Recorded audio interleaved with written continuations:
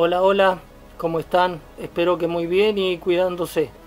Bueno, comparto unos ejercicios con ustedes ahora para que empecemos a hacer en la casa, en el lugar que tengan, eh, ya sea con raqueta o si no con un cucharón. Pero bueno, prestando atención al movimiento, ¿sí? a las piernas, al movimiento de las piernas y al baile. Ahí se los muestro. Empezar a hacer los movimientos después de una pequeña entrada en calor Después fijarnos de trabajar en semiflexión y haciendo el split. ¿sí? Recuerden que el split es cuando aceptamos las, asentamos las dos puntas de pie para que nos dé la salida. Entonces a partir de esto nosotros empezamos a hacer el movimiento y el movimiento del drive. En el lugar nada más y el movimiento al revés.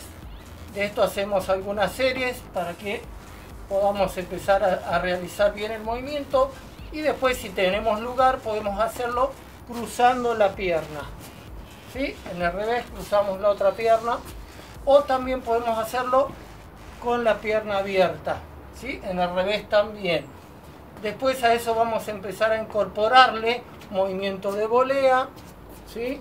split, otro movimiento de volea, siempre recordando el movimiento de las piernas en semiflexión, el split, ¿sí? para que podamos lograrlo y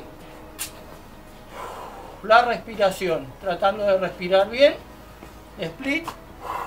Y suelto el aire, split, suelto el aire, split,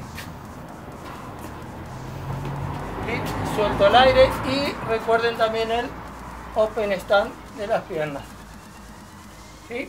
Bueno, de esto podemos hacer muchas series, ¿sí? muchas series que nos sirvan para volver a recuperar el movimiento y tener en cuenta la respiración. Tomo el aire y lo suelto cuando pego.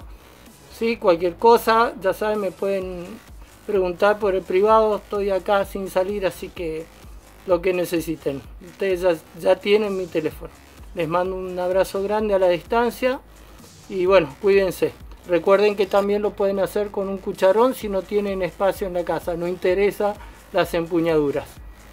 Saludos a todos.